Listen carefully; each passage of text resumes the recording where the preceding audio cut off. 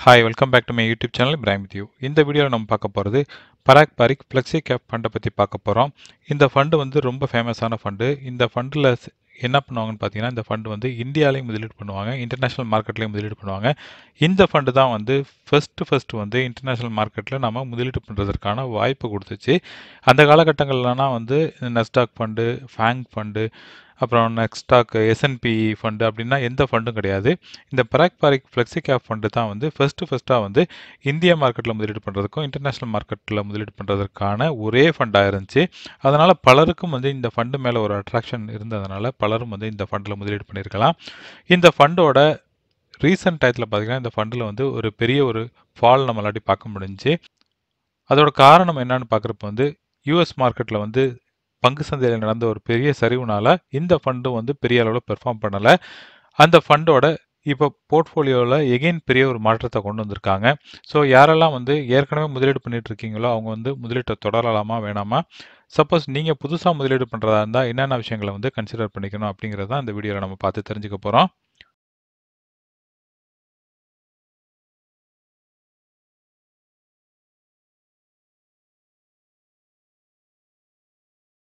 என்னோட சேனலில் financial சம்மந்தமாகவும் saving சம்மந்தமாகவும் பல வீடியோக்கள் நான் போட்டுக்கிட்டு இருக்கேன். அப்படிப்பட்ட வீடியோக்கள் நீங்கள் மிஸ் பண்ணாமல் பார்க்கணுண்டா என்னோட சேனல் நீங்கள் சப்ஸ்கிரைப் பண்ணிக்கோங்க.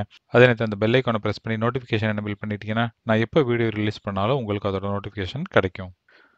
இந்த ஸ்க்ரீனில் நம்ம பார்க்குறது வந்து ரெண்டாயிரத்தி இருபத்தி ரெண்டில் நான் போட்ட அந்த வீடியோவோட அந்த ஸ்க்ரீன் தான் இதில் பார்க்குறீங்க. அந்த காலகட்டங்களில் பார்த்தீங்கன்னா இந்த ஃபண்டோட எண்ணெய் மதிப்பு வந்து டைரக்ட் பண்ணலாம் நான் சொல்கிறேன் fifty one point five five இருந்துச்சு.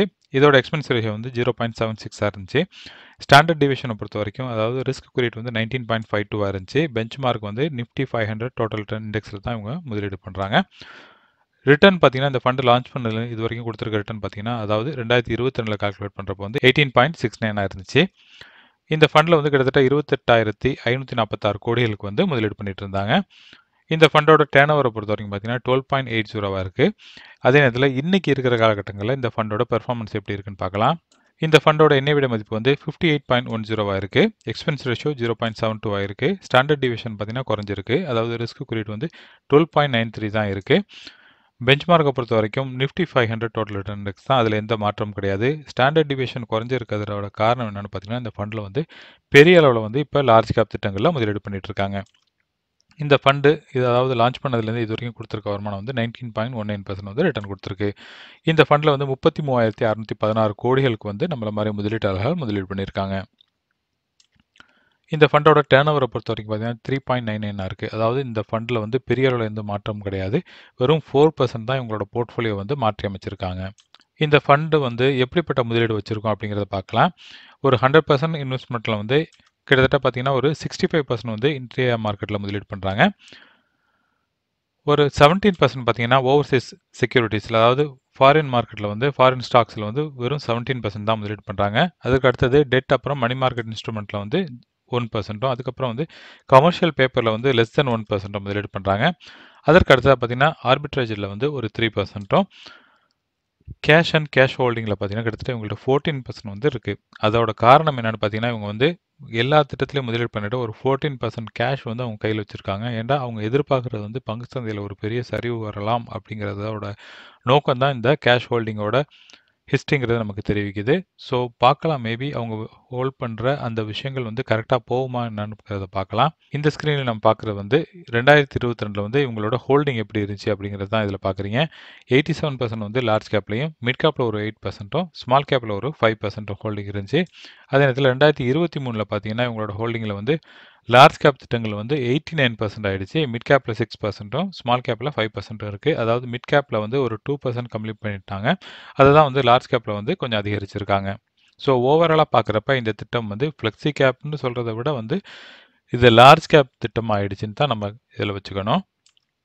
இந்த ஸ்க்ரீனில் நீங்கள் பார்க்குறது வந்து இந்த ஃபண்டு முதலீடு பண்ணுற அந்த செக்டார்களோட அந்த டீட்டெயில் தான் பார்க்குறீங்க இதில் ஃபினான்ஷியல் வந்து எல்லா ஃபண்டுகளும் நீங்கள் எடுத்து கம்பேர் பண்ணிங்கன்னா ஃபினான்ஷியல் அதாவது பேங்கிங் செக்டார் தான் வந்து பெரிய அளவில் இருக்கும்.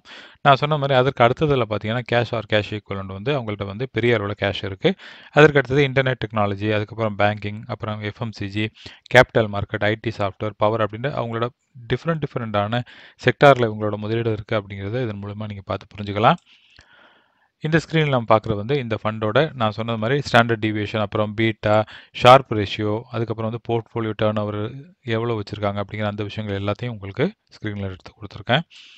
இந்த ஸ்க்ரீனில் நீங்கள் பார்க்குறது வந்து ரெண்டாயிரத்தி இருபத்தி ரெண்டில் வந்து இந்த ஃபண்டு வந்து எந்தெந்த ஸ்டாக்கில் வந்து முதலீடு பண்ணியிருந்தாங்க? அப்போ உங்களோட ஹோல்டிங் வந்து பெரிய அளவில் எதில் இருந்துச்சு அப்படிங்கிறது தான் இதில் பார்க்குறீங்க ஃபஸ்ட்டு பார்க்குறது வந்து பஜாஜ் ஹோல்டிங்கில் வந்து இவங்களோட முதலீடு வந்து எயிட் பாயிண்ட் டூ டூ பர்சென்டாக இருந்துச்சு. அதற்கு அடுத்தது பார்த்தீங்கன்னா ஐடிசியில் இருந்துச்சு.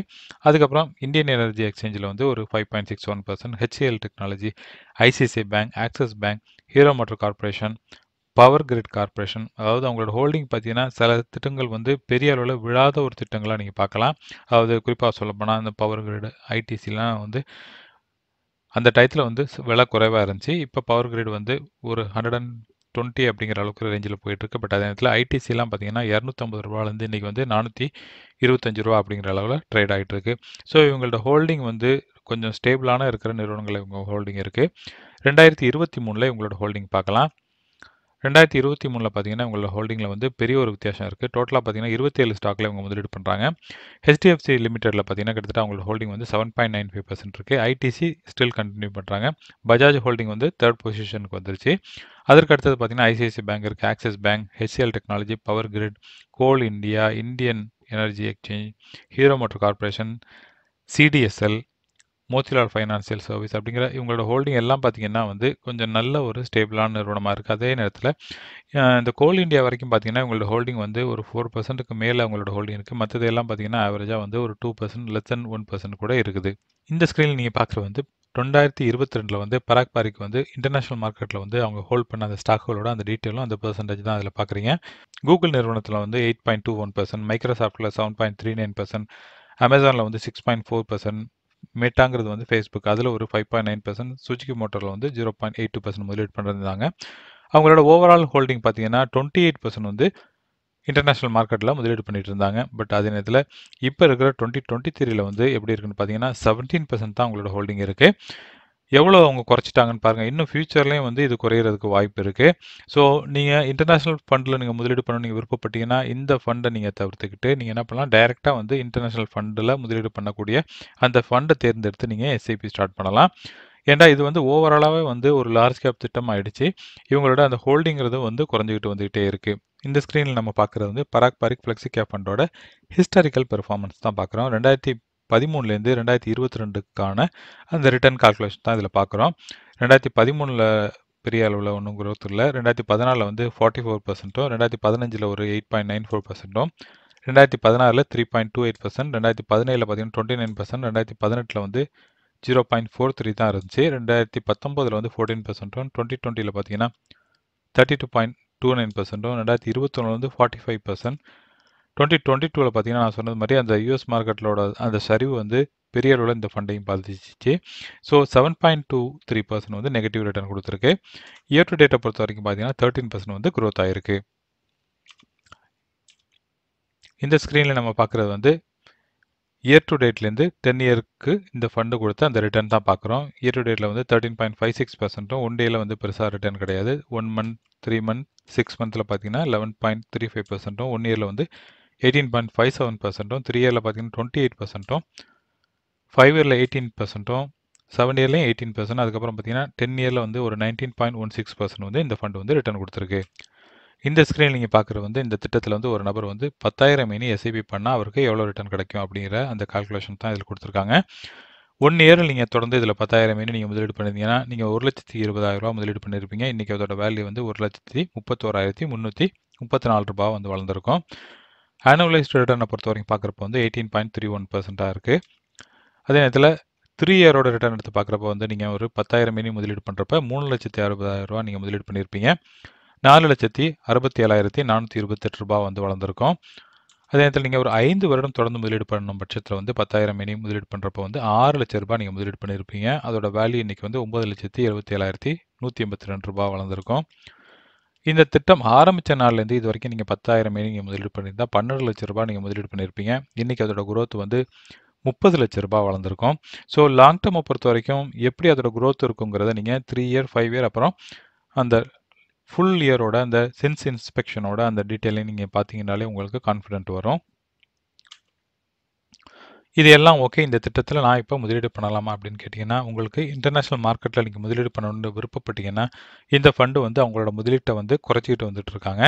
ஸோ அதை நீங்கள் கன்சிடர் பண்ணிவிட்டு நீங்கள் என்ன பண்ணலாம், நீங்கள் டைரெக்டாக ஒரு இன்டர்நேஷனல் ஃபண்டில் நீங்கள் முதலீடு பண்ணலாம். உங்களோட மற்ற முதலீடுகள் வந்து இந்தியாவில் இருக்கிற ஃப்ளெக்ஸி கேப்போ அல்லது ஒரு லார்ஜ் கேப்பில் நீங்கள் உங்களோட முதலீடுகள் வச்சுக்கலாம். இந்த திட்டத்தை பொறுத்த வரைக்கும் பார்த்தீங்கன்னா, இவங்களோட ஹோல்டிங்கிறது நல்லாயிருக்கும் இந்த நிறுவனத்தை பொறுத்த வரைக்கும் நல்ல ஒரு டிரான்ஸ்பரன்சியான ஒரு நிறுவனம். ஸோ அப்படி இருக்கும் பட்சத்தில் வந்து இதில் முதலீடு பண்ணலாமா, வேணாமாங்கிறத நீங்கள் தான் தீர்மானிச்சுக்கணும். இந்த வீடியோ பிடிச்சிருந்துச்சுன்னா லைக் பண்ணுங்கள் உங்கள் ஃபேமிலி, ஃப்ரெண்ட்ஸோட ஷேர் பண்ணுங்கள் இது வரைக்கும் என் சேனல் நீங்கள் சப்ஸ்கிரைப் பண்ணாமல் இருந்தீங்கன்னா, என் சேனல் நீங்கள் சப்ஸ்கிரைப் பண்ணிக்கங்க. மேலும் இதே மாதிரி ஒரு நல்ல டாபிக்கோட நான் உங்களை மீட் பண்ணுறேன் அது வரைக்கும் டேக் கேர். பபாய்.